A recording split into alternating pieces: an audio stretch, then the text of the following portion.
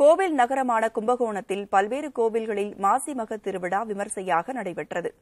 தஞ்சாவூர் மாவட்டம் கும்பகோணம் மகாமக குளத்தில் ஆயிரக்கணக்கானோர் பங்கேற்ற மாசிமக ஆரத்தி பெருவிழா நடைபெற்றது. மங்கள வாத்தியங்கள் முடங்க தேவார திருமுறைகள் நாலாயிர திவ்ய பிரபந்தம் நாம சங்கீர்த்தனம் ஆகியவை பாராயணம் செய்யப்பட்டன. இதேபோல் கும்பகோணம் சாரங்கபாணி கோவில் பொற்றாமரை குளத்தில் தெப்ப உற்சவம் நடைபெற்றது.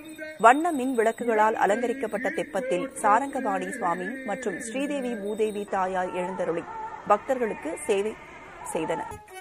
புதுக்கோட்டை மாவட்டம் போசம்பட்டியில் மாசிமக திருவிழாவை முன்னிட்டு வடமாடு மஞ்சுவிரட்டு போட்டி நடைபெற்றது. போட்- போட்டியில் பங்கேற்ற பதினோரு காளைகளை சுழற்சி முறையில் வீரர்கள் அடக்கினர். போட்டியில் ஒவ்வொரு காளைக்கும் இருபது நிமிடங்கள் களத்தில் விளையாட நேரம் ஒதுக்கப்பட்டது. இருபது நிமிடங்களுக்குள் பிடிபடாத காளைகளுக்கும் காளைகளை அடக்கிய வீரர்களுக்கும் பரிசுகள் வழங்கப்பட்டன.